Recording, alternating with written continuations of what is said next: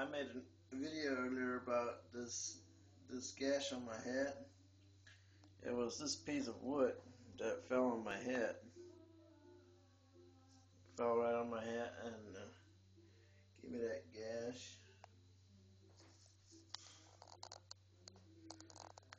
Anyway, um, I just uh, I had the squat out, but they but I had them. Uh,